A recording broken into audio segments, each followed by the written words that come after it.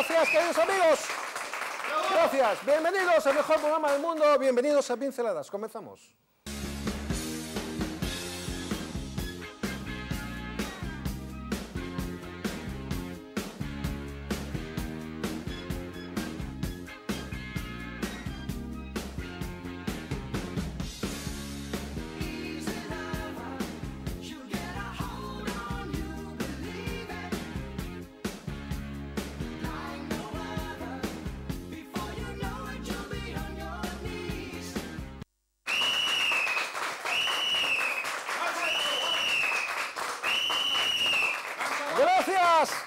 Gracias, estimado público. Gracias a vosotros también, una semana más, por seguirnos en este maravilloso programa.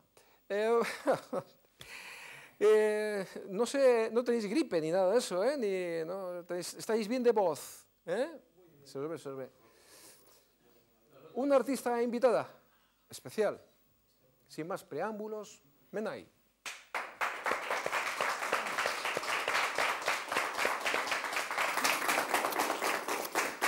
¿Qué tal estás? Muy bien, ¿Nos sentamos, cariño? muchas gracias. Venga.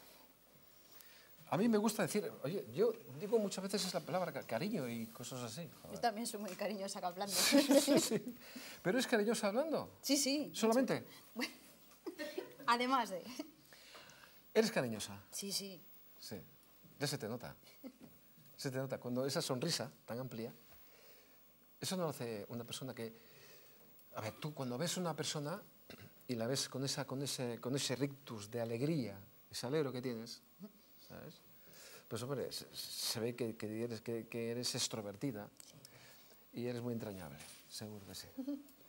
Menday, co- como, a ver, yo sé que es una pregunta de perogrullo, ya sabes, Iván, yo soy pintor, yo no soy periodista, y entonces ha- hago preguntas de perogrullo. Chiqui- ¿Pero qué quieres que diga? No puedo hacer otra cosa. Eh, te lo habrán preguntado muchas veces, seguro. ¿Por qué eh, escogiste eh, Menai como, como nombre artístico? Bien.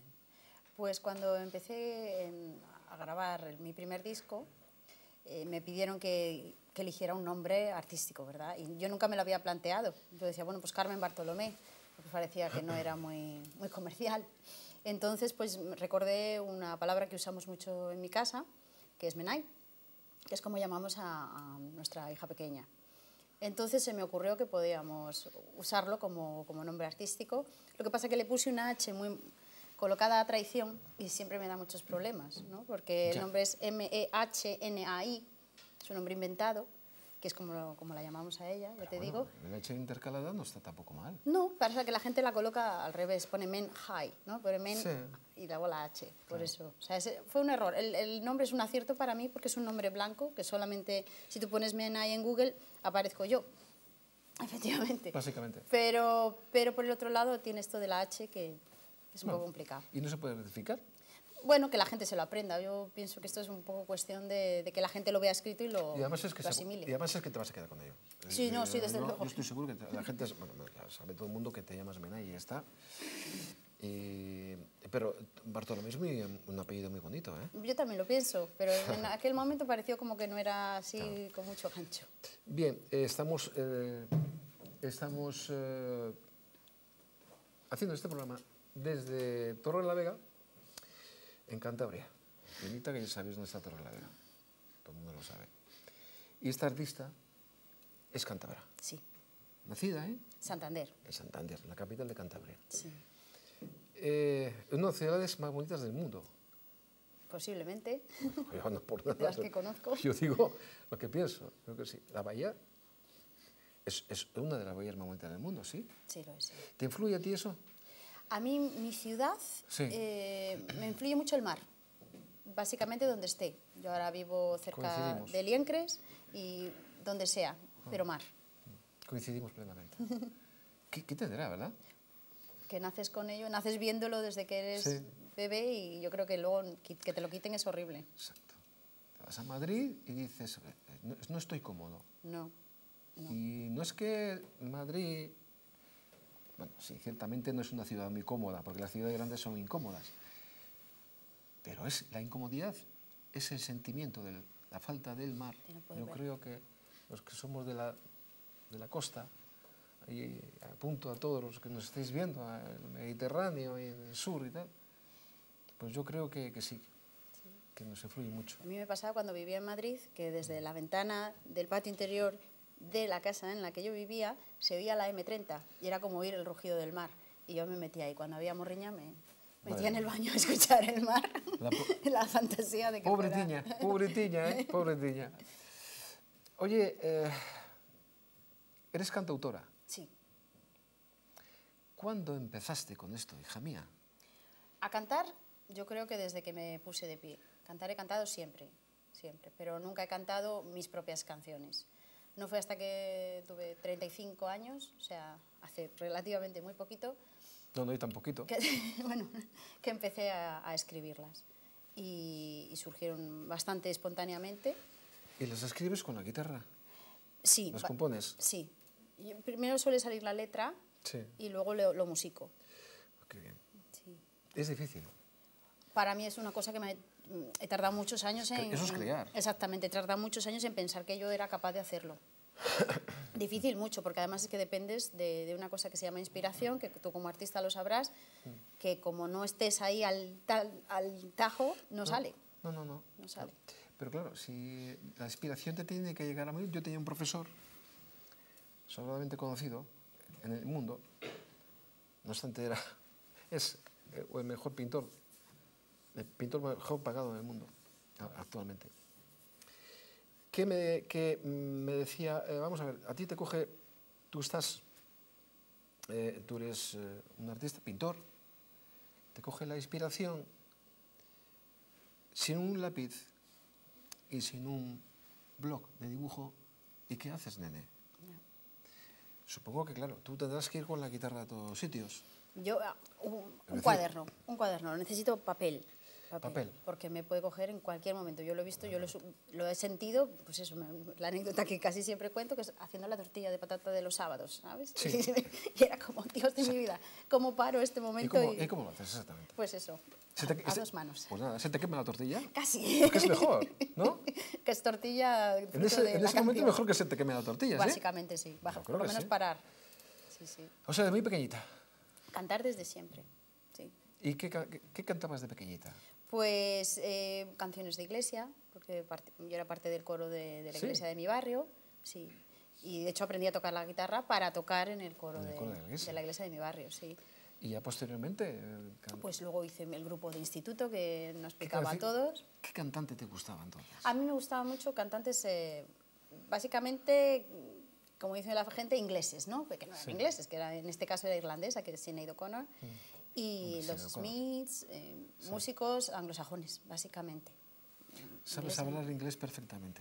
Yo soy profesora de inglés de profesión. Eres profesora de inglés. Exactamente. Cuando Ah, no vale. toco la guitarra y cuido a las niñas. Profesora de inglés. Ah, de clases Entonces, de inglés. entonces tú y yo nos entendemos muy bien, porque yo el inglés es perfecto, el mío. Sí. A foreign neighbor never, together forever, forever. Ah, vale. Hablo con, una, con fluidez. Perfecto. Me tendrás que enseñar inglés. No hay problema. Sin inglés ahora no se puede ir por la vida, ¿no? Bueno, yo creo que el futuro van a ser... O chino. o- pienso que de, de optar, optaría por chino. Yo creo que sí. Inglés tendríamos que saber todos, pero yo creo que dentro de nada... mira, mira, va a haber unas de verdad, máquinas- yo, yo, yo, tú- yo es que no quiero optar por el chino. Vaya, No tengo nada en contra de los chinos. complicadísimo. Al contrario, ¿eh? Pero hombre, eh, es que, es que No estamos hablando de la gente que necesite un idioma para Sí. trabajar. Sí. Nosotros, los, los- ¿Y es necesario el chino? si tú quieres trabajar? moverte en exportación... Pues para ir a China. es- pero es que Que- ya, ya te, o sea, nos están invadiendo. No, no lo sé, no tengo la bola, pero yo creo que, Sí. que es la, la- la siguiente potencia mundial. Invadiendo, entre comillas. Claro. Hablando, con todos mis respetos, porque vamos, a mí me parece que la globalización es una, una bala que se disparó y no va a poder pararse. O sea, Y, y eso es bonito, ¿eh? ¿Te parece bien? es que me parece in- in- imparable, esa es la palabra para mí. No creo que podamos poner fronteras ni vallas lo suficientemente altas. Nada, nada. Mi, mi- Bueno. yo- mi opinión, humilde. ¿eh? Sí, no, no, yo creo que eh, estoy de acuerdo. Eh, ahí vendrá, ya está ahí eh, nuestro amigo Donald Trump, ¿se dice así? Trump. Trump. Que va a poner vallas por todos lados y muros y todas esas historias. Ya veremos. Ya veremos a lo que hace. A ver lo que le dejan hacer. Efectivamente. A ver lo que le dejan hacer. Que chulito, que no se ponga Trump. ¿eh? Que Chulito somos los demás también. Sí. Chulito nada. ¿A qué no? No. No. Os veo muy callados. Exactamente. No podrán hacer muchas cosas. Bien. Qué difícil vivir de- del- del arte. Sí, por supuesto. Yo, de hecho, como te digo, no, no vivo de ello. Es mi, mi pasión, Ajá. pero mi profesión es otra. Sí. Eh, eh, ¿Cuántas actuaciones puedes tener tú a cabo del año, por ejemplo? Pues el último año, que ha sido un año muy intenso, desde enero del año pasado aquí, puedo haber tenido unas 25 actuaciones. ¿25? Sí, Pues ya está bien, ¿eh? sí, el año pasado ha sido bastante... Eh, cuidadín. Volví con mucha fuerza. Tenía muchas ganas de, de volver a tocar y volví con mucha Oye, fuerza. y en el escenario donde más tú te- a gusto te has sentido, dices, ¿cuánto, a ver, ¿cuánto, cuánto, ¿cuánta gente quieres? Quiero decir, si te dan a escoger, ¿eh? A ver, yo quiero que estén aquí 100 personas. O quiero que estén 5.000. O 60.000. ¿Cuántas? ¿Cuánto- Mira, te puedo hablar de dos opciones. Hay una opción mm, Sí. maravillosa, que es el Bar Rubicón en Santander, Oh, sí, lo conozco. que es un templo para los Sí. cantautores, para los músicos. Es un formato muy reducido que puede haber, a lo sumo, cuando el día que lo llenas, llenas, llenas, 100 personas, no creo. No creo Sí. que, ya te digo, todos así pegaditos. Sí. En el que todo el mundo está en un respetuoso silencio, te están escuchando, que si se cae una moneda la oyes, es una cosa increíble. Entonces, cualquier público que realmente esté atento a lo que tú estás haciendo y participando, uno, 20, 100.000.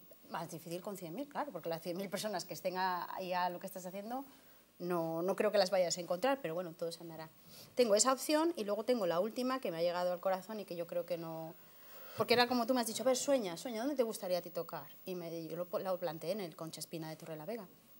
Y lo hicimos en el pasado octubre y llenamos el Concha Espina. Menai, Claro, una cosa chiquitita, una cosa regional y fue impresionante. Es un teatro precioso que a mí de hacía ya tiempo me, me- tenía muchas ganas y para mí ha sido una experiencia increíble, de un formato grande y con todo el público entregado también. Así que esas son mis dos opciones. Receptivo, ¿verdad que sí? Uy, increíble, Qué bonito. muy bonito. No me extraña, ¿eh? Porque tienes una voz preciosa. Muchas Oye, gracias, Guido. eh, las tuyas. Eh, si te acerco la guitarra, sí que te mueves de aquí. ¿Yo te puedo acercar la guitarra? Sí, Sí. Perfecto. Y nos tocas una piecita. Muy bien. Nos cantas una, una Muy cosita así. Para abrir boca solamente. Porque ya sabes que este es el mejor programa del mundo. Por supuesto, por eso estoy aquí. Claro. Y el mejor programa del mundo ya sabes lo que tienes que hacer, ¿no? Pintar un cuadro. Perfecto. ¿Le has puesto una cara? Es que si, si me manda a mí, vamos a quedar fatal. Has puesto una cara. Es que si- sinceramente, lo, todo lo bien que pueda cantar, eh, derívalo al contrario en la pintura. O sea, No te preocupes, que mientras que tú haces eso, vamos a hacer una simbiosis. Qué ¿Vale? sí. Vamos a hacer una, un- una fusión de dos artes. Perfecto. El arte de la música y el arte de la pintura. Muy bien. ¿Vale? Bien, te voy a traer la guitarra. Perfecto. ¿Repetís?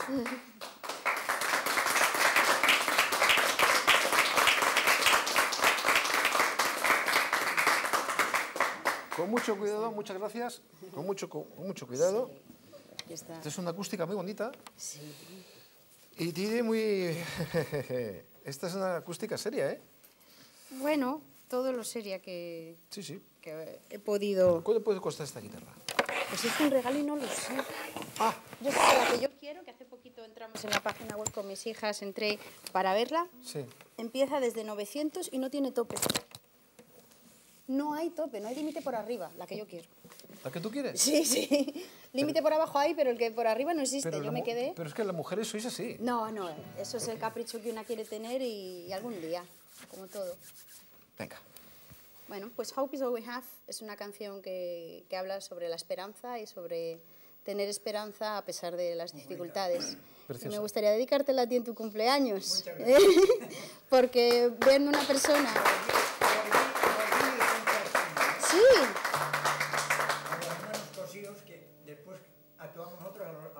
Sí, ¿eh? Sí.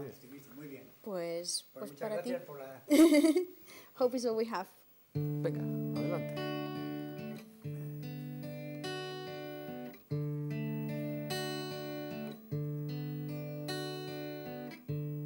The suitcase in my hand. The plane is about to take off. Second time I say goodbye to you.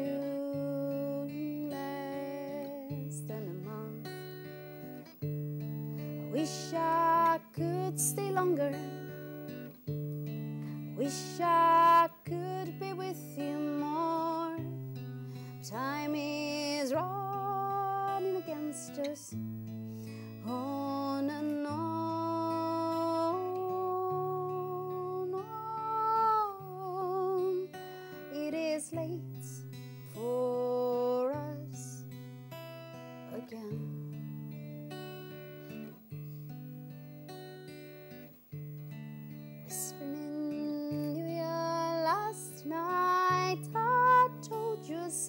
secret I knew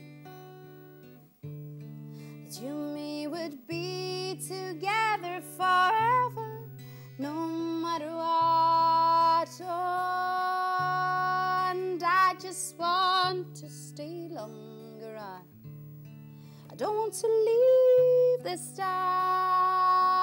I would be living in your arms. I Won't touch the floor.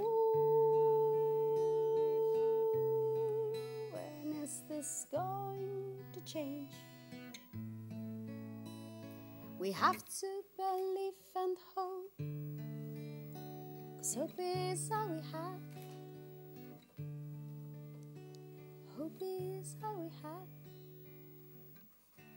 Molt bé. Seguimos. Dos minutos, seguimos.